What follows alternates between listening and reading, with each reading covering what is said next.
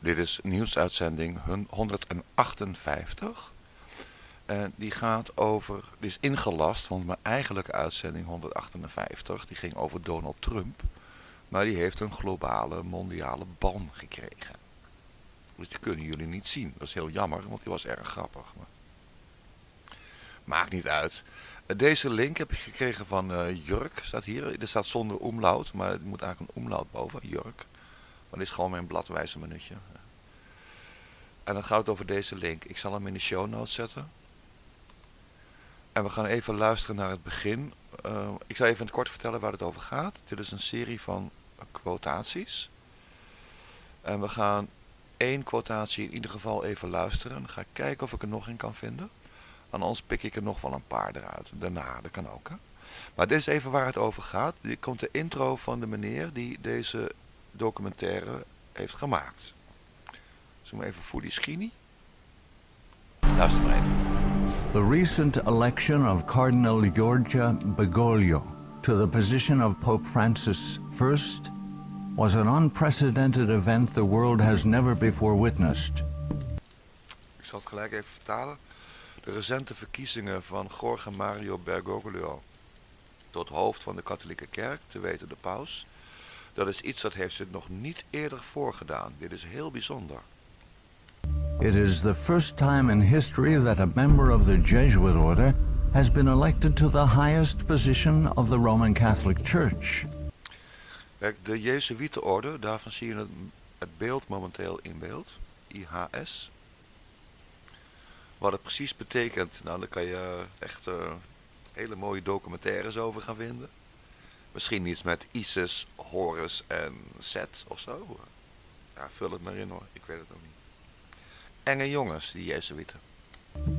Reactions worldwide varied from jubilation to matter-of-fact acceptance to disinterest. Kijk, volgens hem waren er drie reacties op deze verkiezing. Dat was namelijk jubilation, in de zin van hooray! En die andere twee waren van, wow, ja het zal wel. En de derde die was van, uh, sorry, is er iets gebeurd? Ik zou het echt niet weten hoor. These very reactions reveal appalling ignorance of the true nature of the Jesuit order. Wat hij hier zegt, these reactions reveal appalling ignorance. En appalling is uh, weerzingwekkend. Dus deze reacties laten zien een weerzinwekkend gebrek aan het onderkennen van wat hier aan de hand is. Widely regarded as a benevolent missionary order, known for its educational institutions, the Jesuit order, as the Society of Jesus is commonly known, has long played an incredibly influential, albeit secretive, role in the destinies of nations, organizations, and individuals.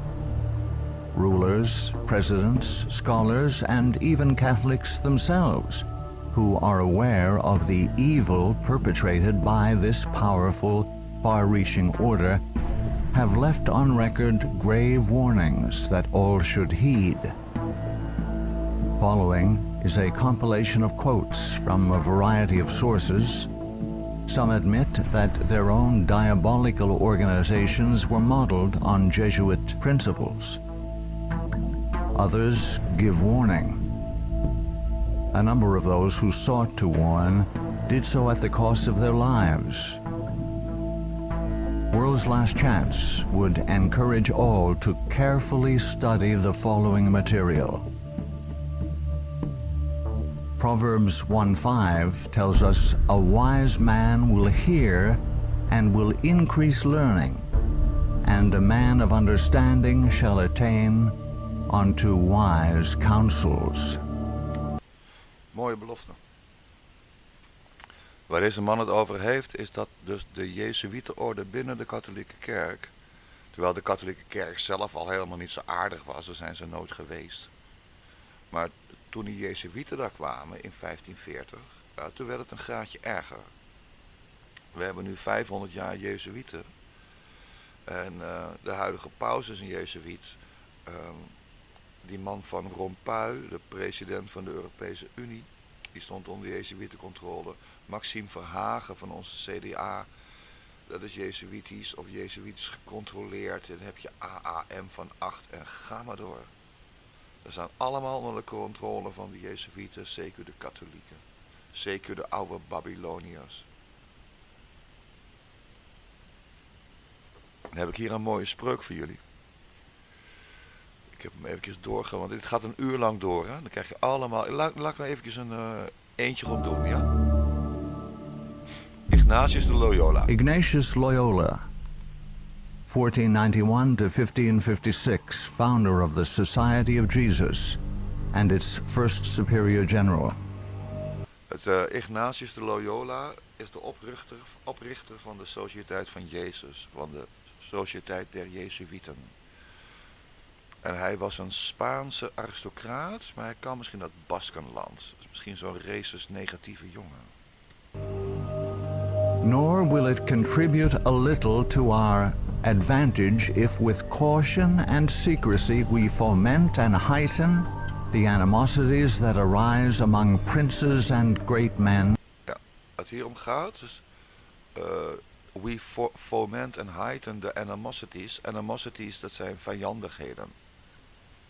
Dus wij, hier wordt dus gezegd dat als ze het maar voorzichtig doen en het in het helemaal geheim doen, dan kunnen ze de vijandigheden tussen prinsen en grote mannen op, uh, ja, opstoken.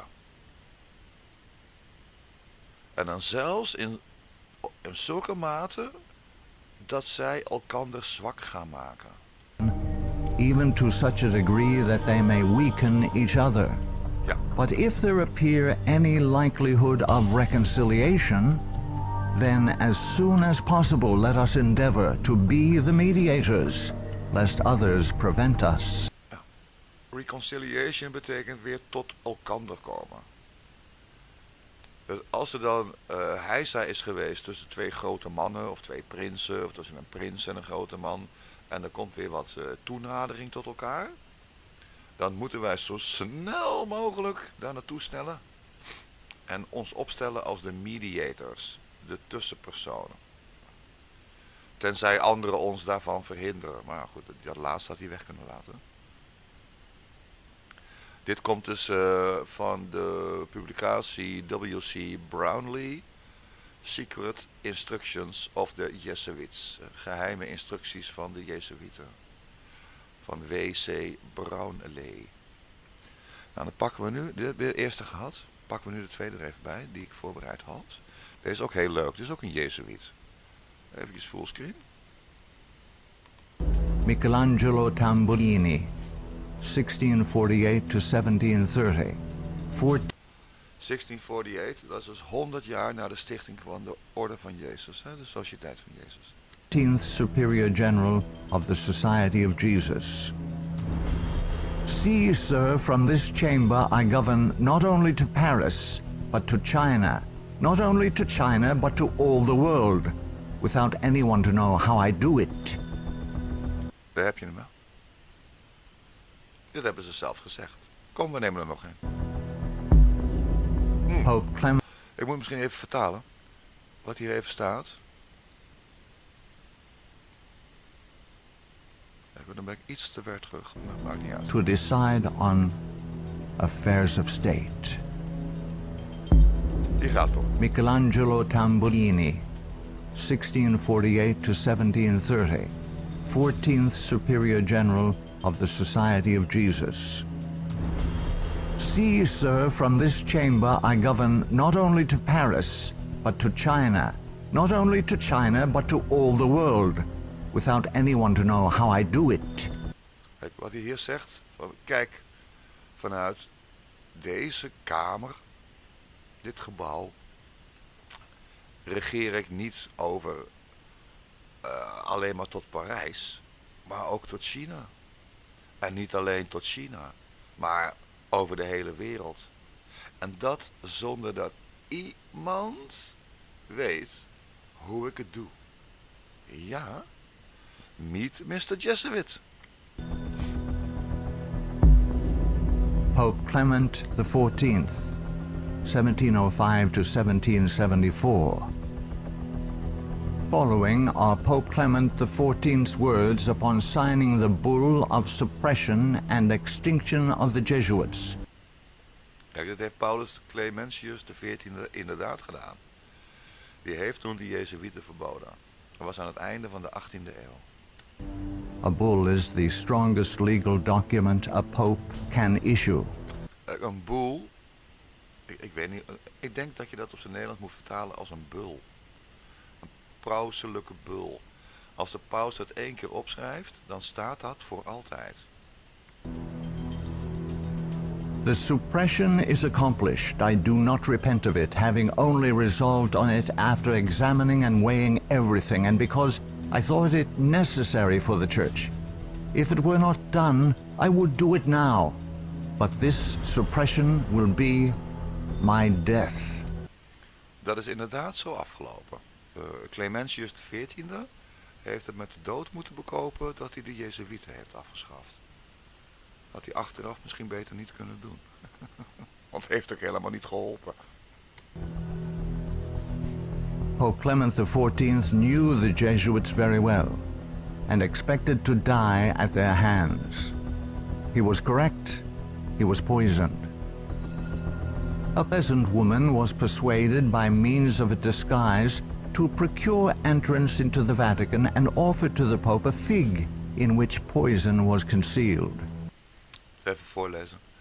Een, uh, een peasant woman, dat is een, een, een boerenvrouw of zo. Een, vrouw, een, een plattelandsvrouw was overgehaald.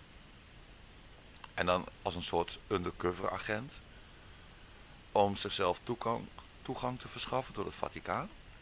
En de paus, dat is Clementius XIV, een vijg aan te bieden. Waarin gif was verborgen, waarin gif was gestopt. Clement XIV was exceedingly fond of this fruit Clement XIV hield enorm veel van vijgen. and ate it without hesitation. En at het gelijk op. The same day, the first symptoms of severe illness were observed, and to these, rapidly succeeding violent inflammation of the bowels. He soon became convinced Eh, Dezelfde dag traden de eerste symptomen op van een ernstige ziekte. En dat ging snel over in een, een, verschrikkelijke ontsteking van de darmen.